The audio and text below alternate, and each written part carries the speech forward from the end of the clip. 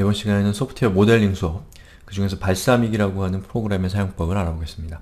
자, Balsamiq은 여기 제가 써놓은 것처럼 어플리케이션 기획 도구입니다. 그래서 어, 보통 어떤 프로그램이나 웹 서비스 같은 것들을 기획할 때 파워포인트를 많이 쓰죠. 근데 파워포인트는 이 프리젠테이션에 최적화되어 있기 때문에 이런 어떤 애플리케이션이나 웹사이트, 웹 서비스와 같은 것들을 기획할 때 상당히 많은 시간이 필요합니다.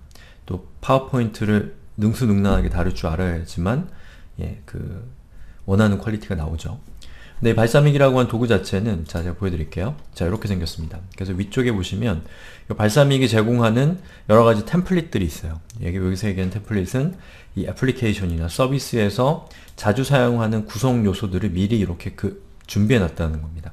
여러분이 이렇게 드래그해서 여기에다가 뭐 예를 들면 뭐 콤보박스 라고 하고 이렇게 하면 보시는 것처럼 콤보박스라고 하는 이름을 가지고 있는 음, 콤보박스가 이 화면에 쉽게 추가되는 것을 볼 수가 있죠. 이런 식으로 해서 빠르고 쉽게 어, 여러분의 아이디어를 그 그려볼 수 있는 그런 장점이 있는 프로그램이 바로 발사믹입니다. 발사믹입니다. 이 발사믹의 또 다른 특징은 손으로 그린 것 같은 이 감성적인 느낌을 준다는 건데요. 지금 보시는 게 바로 바, Balsamiq의 어떤 디자인이죠. 그래서 각진 디자인을 좋아하는 분도 있겠지만 또 제 주위에 있는 많은 분들이 이 디자인을 더 선호하더라고요. 뭔가 이렇게 손으로 직접 그린 것 같은 그런 느낌이 나죠.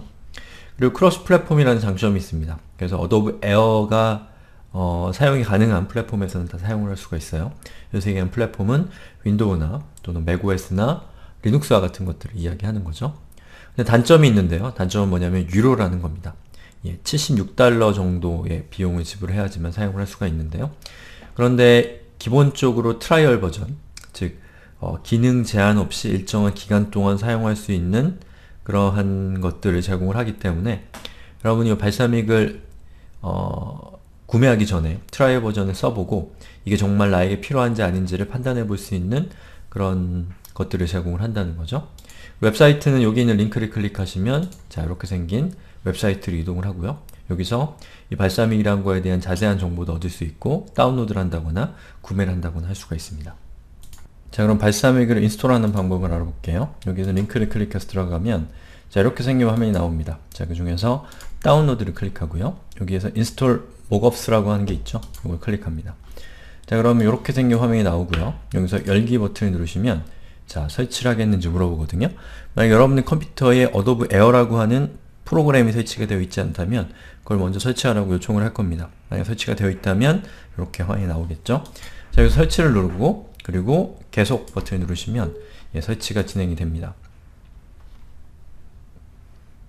예, 설치가 되면 이렇게 실행이 되죠.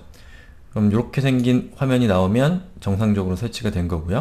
여기 있는 이 사진들은 어, 이미지들은 제가 이전에 이 발사믹이라는 프로그램을 이용해서 기획을 했던 기획 내용들이 지금 나타나고 있는 거예요.